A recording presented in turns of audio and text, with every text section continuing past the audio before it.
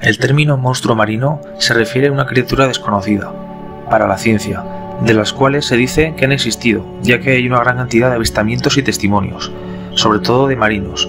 Para ello vamos a reaccionar a los testimonios del experto Fernando García Echegoyen.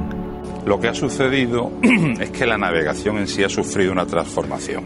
De la navegación a vela, que era una navegación esencial, esencialmente silenciosa, hemos pasado a la navegación a motor.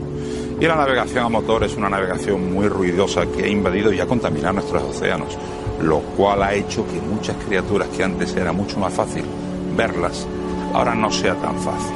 Oye, qué bueno, Eh, eh, Fernando. O sea, relacionas la evolución de la navegación con la ruptura quizá de ese silencio necesario para algunas cosas. Efectivamente, Qué incluso bueno. fíjate como vamos a ver esta noche, hay un momento, digamos, un repunte de avistamiento de criaturas cuando empieza el vapor. Como si esos animales, como si esos seres, esas criaturas saliesen a la superficie para ver qué era ese nuevo ruido que invadía el océano, que era el ruido de, los de las máquinas a vapor. Sin embargo, eso ha desaparecido. Ha ido desapareciendo porque, claro, ahora mismo el mar es una locura de ruidos. Yo alguna vez lo, lo he mencionado aquí, no hay más cosa más ruidosa que un barco a motor navegando en la mar. Sin embargo, sí se están produciendo avistamientos. Lo que pasa es que de eso ya hablaremos en otro programa. Perfecto. En la exploración eh, bajo el mar. Eh, hay casos que en estos sumergibles tan, tan conocidos que han, que han, en fin, investigado el Titanic, las grandes pro- eh, profundidades, en el umbral de la visión, en el límite de la visión, a través de esos ojos de buey, han visto grandes criaturas, la sombra de grandes criaturas que se alejaban de, de los sumergibles. Son los nuevos avistamientos de monstruos marinos. Yo creo que esto puede ser cierto, ya que con las nuevas tecnologías al navegar te centras en pantallas, radares, entre otros aparatos. En cambio, al navegar a vela, como antiguamente, se estaba más pendiente del exterior del mar, el clima, y de ahí la explicación de dichos avistamientos. Han ido hacia el fondo. Efectivamente. Pero antiguamente, y hay ilustraciones maravillosas, y ahora nuestro compañero Agu hace, como no, de, de ilustrador, pero del cuaderno de bitácora, nos va a mostrar algunas que tienen que ver con casos que a Fernando García Chegoyen eh, le dieron suficiente enjundia como para tener un interés especial. Claro que sí. Además, hay una cosa que está muy clara, y tú sabes que yo soy una persona bastante escéptica. Sí, a la pregunta, ¿existen las, lo, lo podemos decir, monstruos marinos? Yo digo rotundamente sí. Sí. Es que la gente decía, no, los monstruos marinos, es que en el año 38 apareció un dinosaurio con 300 millones de años de antigüedad, que era el celecanto, un pez pulmonado. Es que eh, eh, los grandes calamares que se creían extinguidos o se creían eh, figuras míticas, como por ejemplo el kraken, El de los pueblos nórdicos, del cual solo sabíamos su existencia por las cicatrices que aparecían en los cachalotes, hoy en día los hemos visto, los hemos capturado y los hemos filmado, el Arqueteutis. Eh, empieza a haber, una, a haber una tendencia entre muchos criptozoólogos y muchos naturalistas que hablan de la posibilidad de que el carcaradón megalodón, el célebre tiburón gigantesco, haya, haya aparecido. Es algo dudoso, pero también es cierto que han aparecido enormes cetáceos con unas mordeduras de tiburón y con un radio imposible que podía atribuirse a un megalodón. Lo cierto es que el océano cubre las tres cuartas partes de la Tierra, que la mayor parte está inexplorado, no está conquistado como pretende la gente decir, y queda mucho por hablar y mucho por, descubrir. Por eso cuando hablamos de monstruos marinos hay que tener mucho cuidado, porque como yo digo broma, eso lo carga el diablo, porque en el momento que tú niegas su existencia te aparece el celecanto, por seguir más lejos. Vamos a hablar sobre todo, vamos a hablar de tres casos, pero hay dos Sí. de ellos Muy especiales. eh, muy especiales y que tienen tales visos de, eh, veracidad que te hace, hacen que, que el chip te cambie completamente en cuanto a la creencia en, en estas criaturas. Tenemos que hablar, vamos con nuestra embarcación, tenemos ya el cuadro de mandos. Fernando, nos sumergimos en la mar oceana. ¿eh? Néstor sería el. El Néstor, el SS Néstor. Año 1876, 18 de septiembre de 1876. El SS Néstor era un transatlántico que cubría la ruta entre Inglaterra y Australia. Era un vapor, ya, eh, eh, por eso decía antes que con la aparición de los vapores hay un repunte en la aparición de estas criaturas. Bueno, bien, pues desde la cubierta del, del Néstor, eh, esa fecha de septiembre de 1876, en el estrecho de Malaca, es avistada una criatura no solamente eh, por un tripulante o por el oficial de guardia, es avistada por todo el barco, tripulantes y pasajeros. Hablan del capitán Webster, que era el capitán del Néstor, eh, relató a la prensa y anotó en su diaria navegación que había aparecido una criatura de unos 60 metros de longitud, fíjate ahí que es de lo que estamos hablando, 60 metros de longitud, con una cabeza que se levantaba del agua a 4 metros y que podía tener una anchura de hasta 5 metros.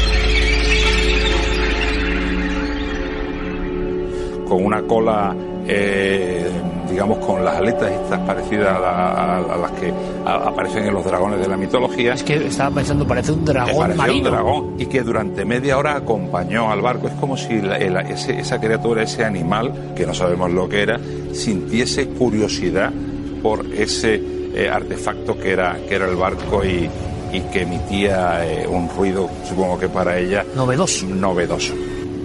Eh, uno puede plantearse, como de hecho muchos eh, escépticos han querido plantear, es que podían ser varios cetáceos navegando uno detrás de otro, una manada de Una hilera de... Una hilera de cetáceos. Y eso no lo iba a saber la tripulación avezada en un mundo de caza de cetáceos. Efectivamente, muchos de los tripulantes del Néstor eran marinos que, que procedían probablemente de los grandes balleneros, porque en aquella época la caza de ballenas estaba plenamente vigente. Hubiesen identificado aquellos animales como cetáceos y ninguno lo identificó. Hablan, insisto, de un animal enorme y que durante media hora se deja ver y observa el barco hasta que desaparece. Es la primera vez que se produce un avistamiento masivo de lo que podíamos eh, considerar como un monstruo marino. De parte, la prensa de la época, concretamente un, periódico eh, que se editaba en Australia, refleja y relata eh, los testimonios de Wester y de, algunos de los, de los, pasajeros. Es la primera vez que en grupo o en masa se ve una criatura que podemos considerar un monstruo. Fernando, bueno, crónica que nos mete en ese mundo de la mar que es, que es maravilloso. Eh, no existe interacción, se deja ver, no existe escenas de violencia, porque alguna vez nos has contado incluso ataques habitualmente de la embarcación al, monstruo. Eh, aquí no. Aquí simplemente se vigilan ambos durante media hora, que creo que es todo el tiempo del mundo, si estás delante de una criatura tan asombrosa y fabulosa como esa, ¿no? Claro, se observaron durante media hora, supongo que el monstruo sería el quien estaba observando qué era aquel extraño barco. Insisto, estábamos en 1876. ¿Y en qué punto del, del, globo, para quien no sepa? El estrecho de Malaca. ¿Dónde está esto exactamente? Eso une el Océano Pacífico con el Océano Índico es el punto de unión del Océano Pacífico y el Océano. Un lugar muy especial, ¿eh? Un lugar realmente, un clásico, como dices tú. Por eso, por eso. Es un lugar muy especial. Zona caliente, ¿no? Efectivamente. Eh, entonces el, el, animal fue avistado perfectamente, fue descrito perfectamente, no está catalogado en ningún tipo de... No se parece a nada. No se parece a nada, es que está describiendo, así como ahora vamos a relatar un caso en el que sí se parece, en este caso está describiendo un animal extraordinario y un animal que no ha vuelto a ser visto, al menos eh, de forma masiva o al menos recogido por naturalistas, criptozoólogos o personas interesadas en el tema. No se volvió a ver nunca más. Eh, por tanto, así como nosotros, los que por ejemplo disfrutamos del enigma de los ovni o otros tipos de misterios, le damos mucha importancia al caso masivo, es decir, todo un colegio, toda una base militar, al mismo tiempo, testigos, no es una alucinación, ven algo. Pues aquí tendríamos el caso que te da más valor o que tú crees que es más potente en cuanto a casuística, porque fue el gran caso masivo de monstruo marino de los tiempos de la navegación moderna. Además, además, fíjate una cosa, este tipo de vapores de pasaje tenían una tripulación de entre 80 y 100 personas, dependiendo del de, aparejo de B, la parte de vapor, y podían transportar hasta 200, 250 pasajeros. Estamos, estaríamos hablando de unas 350, 400 personas que pudieron ver a ese animal. Esas personas lo manifestaron a la prensa. Eh, el viso, los visos de veracidad que tiene la historia son tremendos. No sabemos qué es lo que vi. Claro. Evidentemente no sabemos. Descartamos un cetáceo, por lo que hemos dicho antes, porque había personas a bordo que lo hubieran eh, que lo vieran. Y 60 metros. Y 60 metros de longitud, con una cabeza enorme que se levantaba varios metros sobre el agua y con una anchura de la cabeza eh, eh, enorme. O sea, un, animal gigantesco.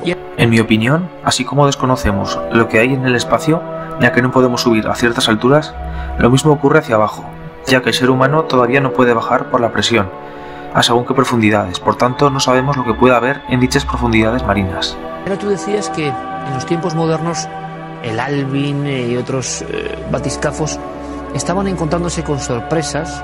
Yo lo he dicho muchas veces. Eh, nosotros, eh, hace mucho tiempo, hace casi 20 años, pudimos poner unas cámaras en la fosa de Carrandi, en Asturias, aguas muy frías, a unos mil metros, y, y se detectaban criaturas con forma de cinta o, en fin, la sensación de que es un mundo un poco vedado.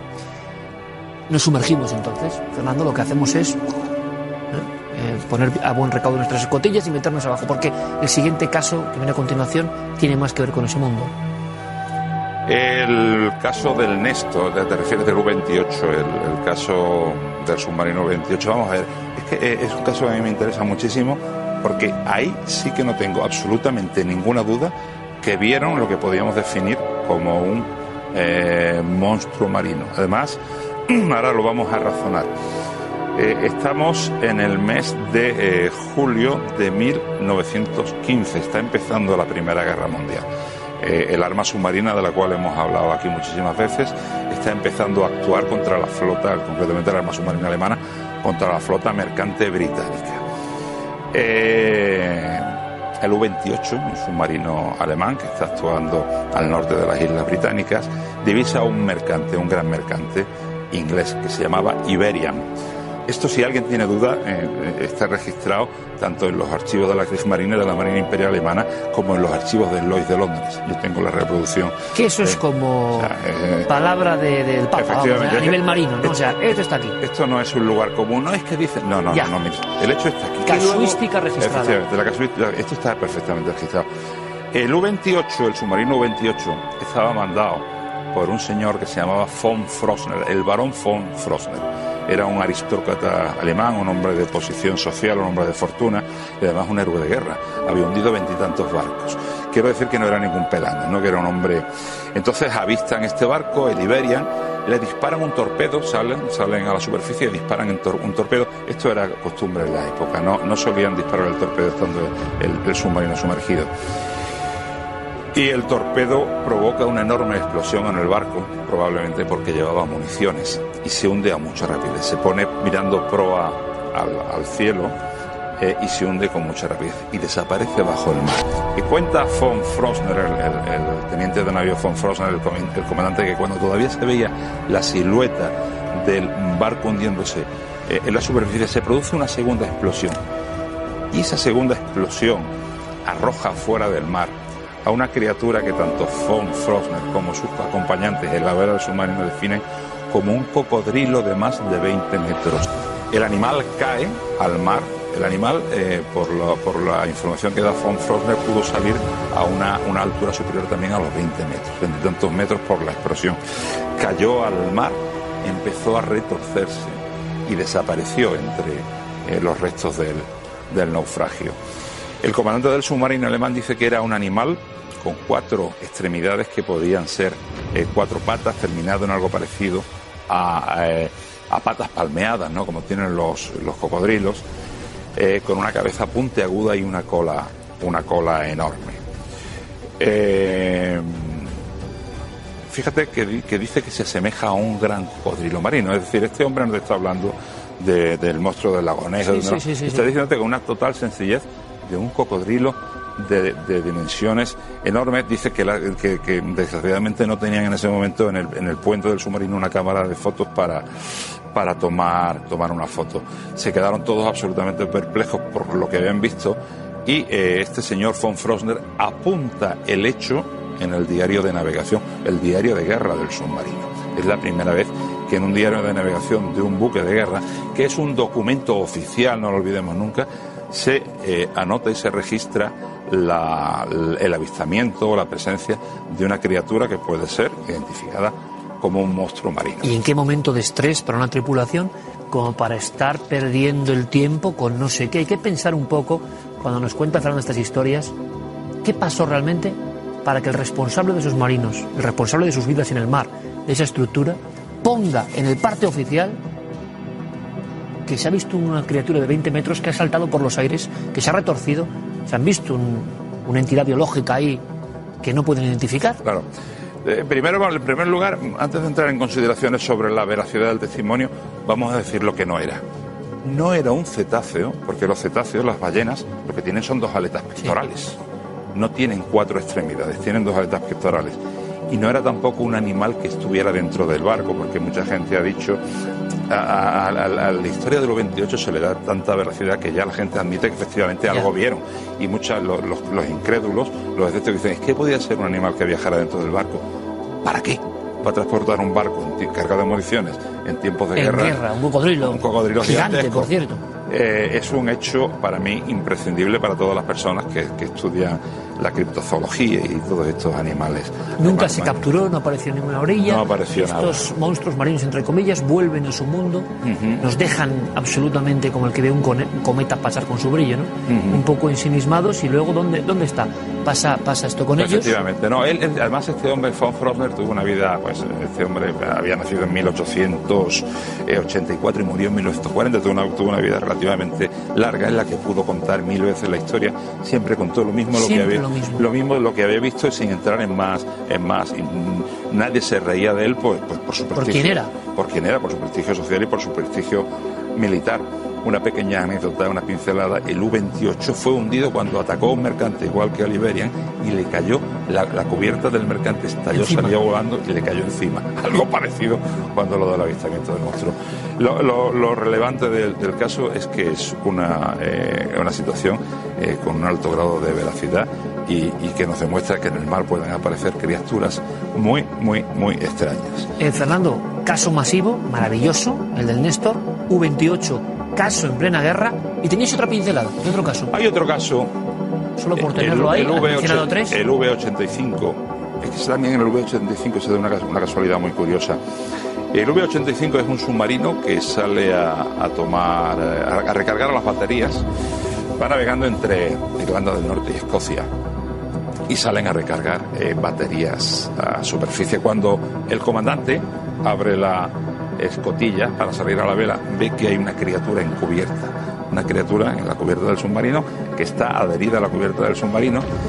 Dicen incluso algunos que llegan los oficiales a sacar armas de fuego y a dispararle, no había forma de que la criatura la define como una especie de, de ser de cabeza muy grande y con cuernos, lo cual evidentemente no, no concuerda mucho con las descripciones, con otras descripciones de animales marinos que hemos visto. Eh, finalmente consiguen ahuyentar a la criatura, pero dicen que... Qué miedo de descripción, por cierto. Claro, no, no, la Con una especie de apéndices y, adherida a la cubierta. Adherida a la cubierta del submarino. Dicen que, que el submarino tenía tales daños que después que se acabó hundiendo, ¿no? Lo que pasa que aquí hay dos cuestiones. Mira, primero los escépticos dicen una cosa que a mí me parece una soberana estupidez. Dicen que eso era una morsa, mira, una morsa. Una morsa. Una morsa es un animalito marino que sí, que a lo mejor a usted le parece muy grande, pero que es la de un submarino. Pero algunos escépticos eh, o no han estado nunca en la mar o no saben nada de marinería o, no, o, no han visto animales. O lo han visto, puede ser también. es muy interesante eso, ¿no? no, es que eso puede ser una morsa. Yo no he visto una morsa nunca con cuernos como un vitorino, a ver si me entienden, ¿no? Lo que estaba creyendo este señor eh, la tripulación del V-85 es rescatada por el Coreopsis. El Coreopsis era un barco de guerra británico que dijo que había hundido al V-85 a cañonazos, que no se había hundido espontáneamente por los daños que le había causado el monstruo. Por un lado tienes la discusión del comandante diciendo que a su submarino lo, lo destruyó una criatura marina que no saben identificar, y por otro lado tenemos al, al comandante del Coreopsis diciendo que lo hundió él a cañonazos. Yo aquí discrepo porque eran tiempos de guerra, y algo que sabemos por lo que está pasando hoy en día es que había propaganda de guerra. A lo mejor dijo que le había hundido un monstruo marino para no reconocer que había sido hundido por su enemigo. ¿Tú te acuerdas, Siker, cuando hablábamos de aquel submarino alemán maldito que se murió tanta gente? Hombre, eh, fue un caso también. El, submarino del Malfario. Efectivamente.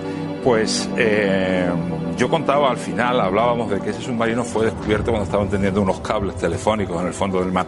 Pues descubrieron los restos del submarino de Malfario y el siguiente submarino que apareció, el, tendiendo el mismo cable y a muy poca distancia fue el V-85. Sin monstruo.